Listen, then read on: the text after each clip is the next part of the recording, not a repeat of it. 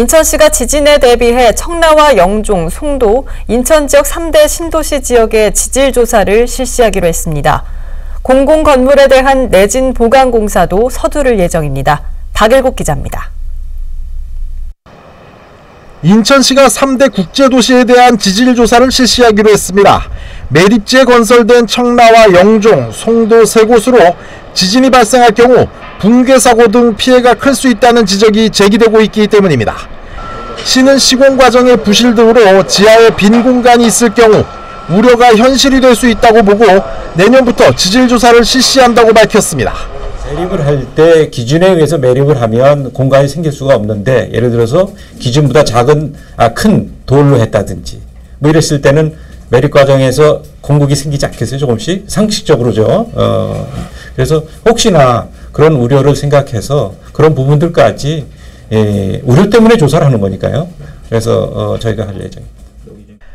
88년 이전에 준공된 공공건물에 대해선 내진 보강 공사도 진행됩니다.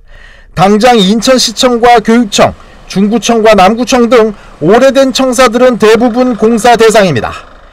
인천의 민간 건물의 경우 내진 설계가 된 것은 3개 중 1개 정도, 공공건물 중에선 학교가 가장 취약해서 건물 4개 중 1개 정도만 내진 설계가 된 상태입니다.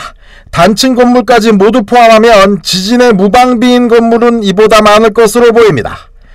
인천 지역은 지난 10년 사이 44회 지진이 발생했고 최근 5년 사이엔 지진이 빈발하고 있는 것으로 집계됐습니다.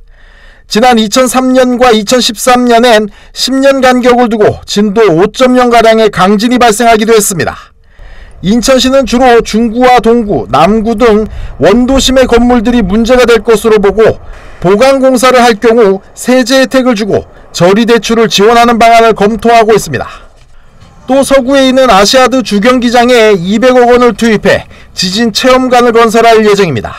확정은 아직 안 됐습니다만 저희 계획은 현재 계획은 서구 주경기장 동축 어, 지난 아시안 게임 때 그 가변석으로 채웠던 공간이 있죠.